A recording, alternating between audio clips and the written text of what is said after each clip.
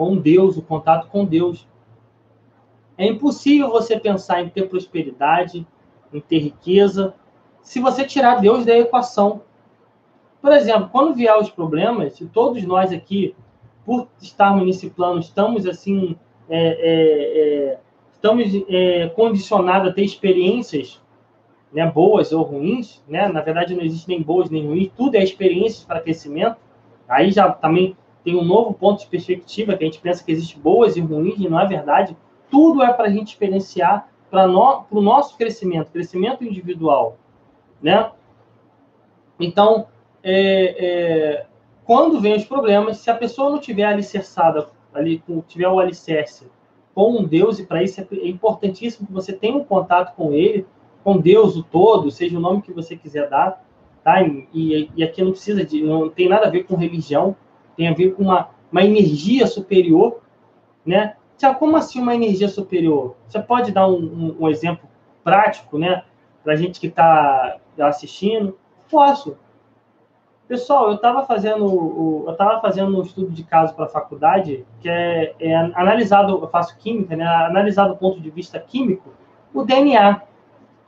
Quando eu estudei o DNA, é impossível você não ver Deus ali. Pessoal, se você for ver o que gera a gente, a gente está aqui, ó, pele, cabelo, coração batendo, tudo em sincronia. O DNA nada mais é que informação. O DNA é um código. Tipo, igual quando tem um código binário do computador, aquilo ali é um código. Não tem, não tem matéria ali, tem apenas informação, frequência. E aí, olha só, se você for ver, se você pegar apenas é, para poder estudar um, o, o, o, DNA, um DNA só, né? Lembrando que você tem o DNA, ele, ele, ele, quando ele vai se aglomerando, ele forma cromossomos, e você tem vários cromossomos no corpo, né?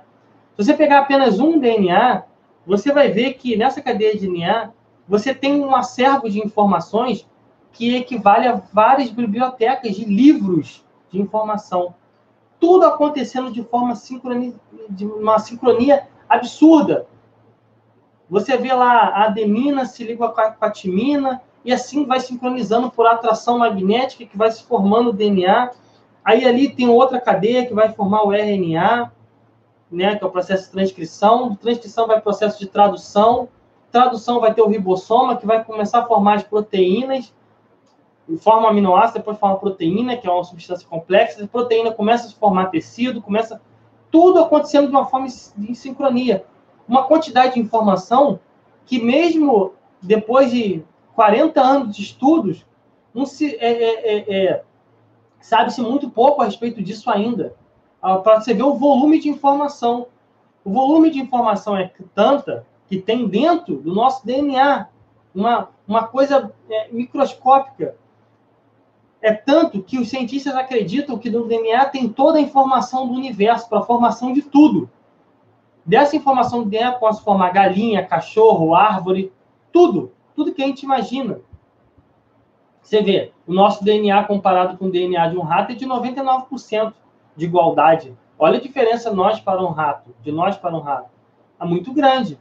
Então, assim, não ver uma energia superior que organizou isso tudo e ter esse volume de informações já tudo codificado, tudo certinho, tudo em sincronia, né? Eu não consigo ver outra possibilidade a não ser um Deus. Só que eu, não, eu particularmente, Tiago, não preciso desse tipo de exemplo para poder testificar Deus. Eu sinto Deus. Eu já tive um contato com o todo. Aí muda a, a, a tua perspectiva muda muito quando você já tem um contato direto, porque você conhece, você não ouviu falar. Então, assim, a, a energia da atração, a lei da atração, a lei da mecânica quântica são ferramentas, assim como já foi codificado o nosso DNA, assim também as informações já estavam codificadas no momento que você nasceu.